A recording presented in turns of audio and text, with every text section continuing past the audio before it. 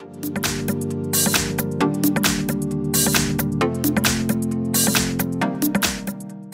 Hi everyone, in front of me I've got Xiaomi Mi 10 Pro and let me share with you how to enable Google Backup on this device. So first of all we have to enter the settings and you do not have to scroll because the proper option is in About Phone, so let's tap on it. As you can see we've got the backup and restore option, so let's enter and here we have to scroll down to the whole Google Backup section and I accidentally turned off the option, but no worries.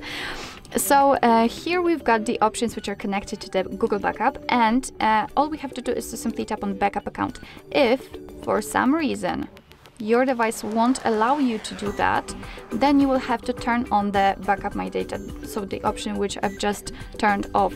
Uh, usually by default it should be turned on, but everything ha can happen, so just uh, don't panic. Under it, we've got the backup account option, so we have to tap on it. Make sure that you've got the internet connection because it is required for this operation. And from this step, we can either create a new uh, backup account if you do not have your own yet, or we can type our email or phone if we have it. So let me do it.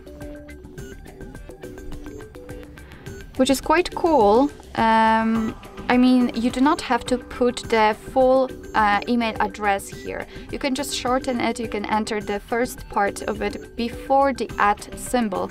So that's quite cool, why don't you use it? You know, it saves time. so uh, just tap on next and right now we have to enter the password. So let me do this out of the screen.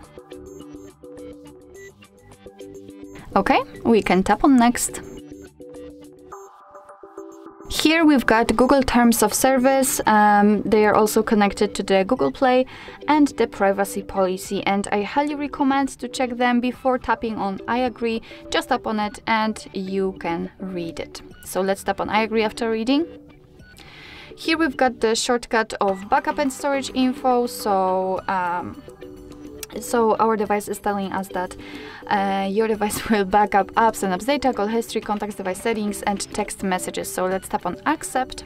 And actually we've been transferred to the step in which we can again check what will be backed up.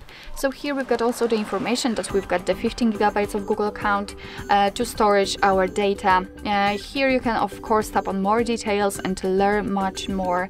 Uh, your device will back up data automatically, will store it easily, not easily, securely, and you will be able to manage the backup easily.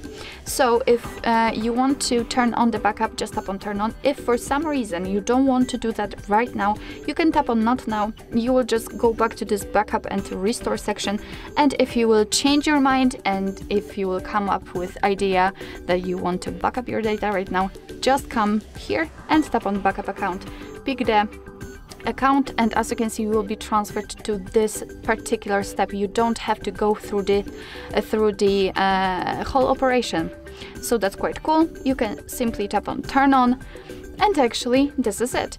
Under it you've got also the automatic restore option. This is the one which I've uh, accidentally turned off at the very beginning of this video. Uh, so it means that your device, if you will re reinstall some apps, then your device will also restore the backed up settings and data. And it's quite cool, I believe. So in order to turn it on, just tap on the switcher here.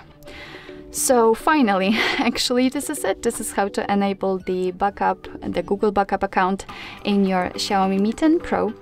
Thank you so much for watching. I hope that this video was helpful and if it was, please hit the subscribe button and leave the thumbs up.